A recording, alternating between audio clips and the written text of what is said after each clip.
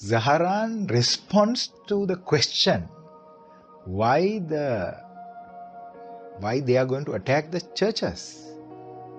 Zaharan's video, the 28 minute video, clearly states why he attacked the Christians. Zaharan believes in the extreme interpretation of the ideology that he believes. That is called the Al-Wala Wal-Bara ideology.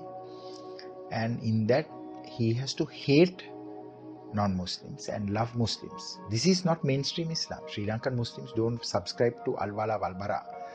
Let me also share with you that Zaharan specifically referred to the attack in New Zealand, in Christchurch, where a Christian extremist called Brenton Tarrant, who is Australian, went to New Zealand and attacked two uh, Muslim uh, religious places.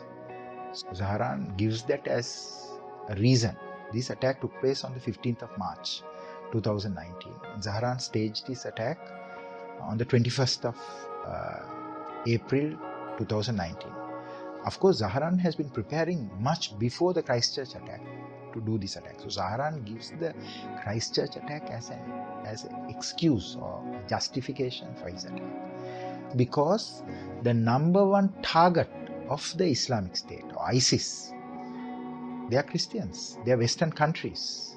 Because it is the Western countries that intervened in Iraq, in Afghanistan, in other conflict zones to stabilize those countries. Zaharan also refers in his video to Baghuz, the Battle of Baghuz. Zaharan, in fact, uses the term there was a genocide in Baghuz. That is, the Western forces fighting in Baghuz, where they contained, isolated, and eliminated the main force of ISIS or the Islamic State. But what Zaharan says has nothing to do with the thinking of the Sri Lankan Muslim community because Sri Lankan Muslim community lived very harmoniously with all the communities, with the Buddhists, with the Christians, and with the Hindus, and they have never had an issue with the Christians. They have never had an issue with the Buddhists.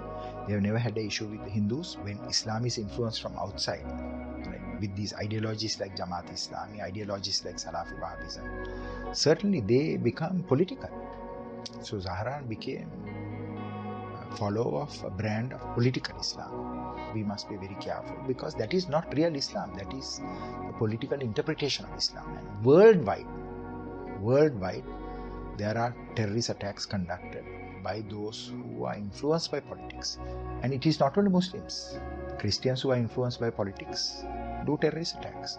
Jews who are influenced by politics, they do attacks. Uh, then Hindus do it.